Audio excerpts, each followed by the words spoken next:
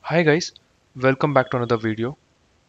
If you are following our channel, you might be aware of our homemade force feedback gaming setup which has wheel, analog pedals, handbrake, paddle shifters and H-shifter. So this setup runs on EMC Lite firmware. Using the same setup, we have uploaded few gameplays we have received many comments asking us to show the steps to configure this wheel in the game. So in today's video, I'll be showing you the complete steps to configure this controller in MudRunner. First, I'll connect the controller to the computer USB port and open EMC Lite user interface. Before opening the game, we'll make sure all our inputs are working fine. For the steering, we can check here and pedals.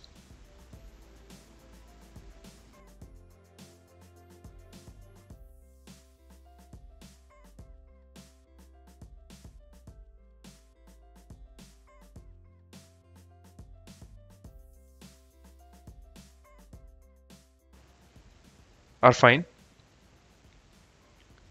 So we don't have any option to check the button inputs here. For that, go to control panel, view devices and printers. You'll be able to see EMC. Right click, game controller settings, properties. You can check other inputs here as well.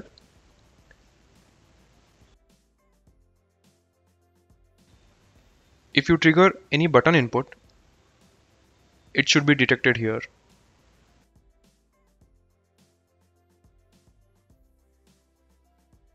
So with this, we can confirm all our inputs are working as expected. Now I'll open the MudRunner game.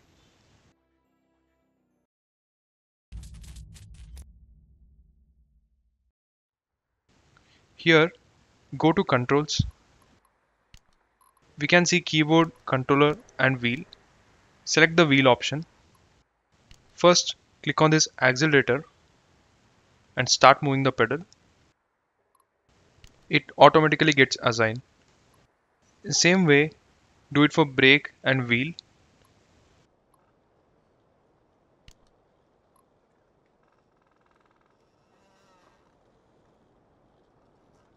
If any of the controls are working inverted while playing game, you can select this invert option to reverse the inputs.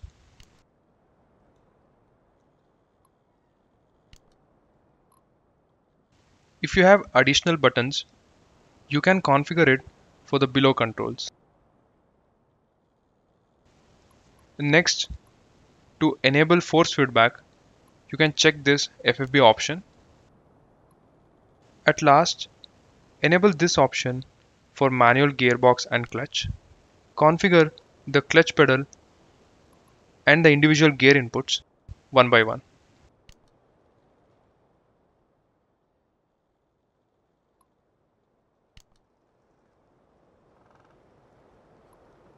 That's it the controls. Now we'll jump into the game.